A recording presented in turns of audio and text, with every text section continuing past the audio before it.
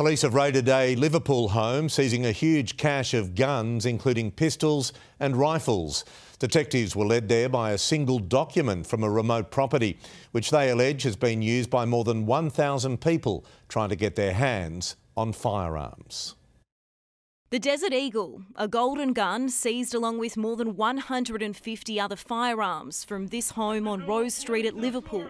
Police, police search warrant. Police search warrant. Under arrest, a 50 year old gun dealer, his licence revoked over allegations of ammunition supply and failing to keep records. Who had been storing these firearms as part of his uh, firearms dealer's licence. He caught the attention of a police strike force investigating alleged firearm fraud, over which he hasn't been charged. Exactly who was controlling who is still under investigation. That's why we have not laid any charges specific to those fraudulent documents. Police claim more than a thousand people, mostly in southwest Sydney, applied for gun licences, all with documentation naming a single property in Nymagee in far west New South Wales as their reason to shoot.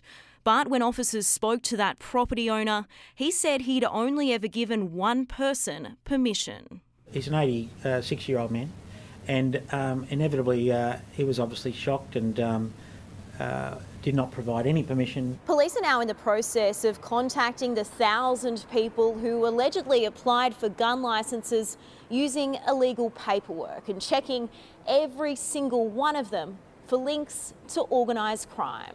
And may have assisted those organised crime figures to possess ammunition or firearms illegally. In Liverpool, Annalise Bolt, 9 News.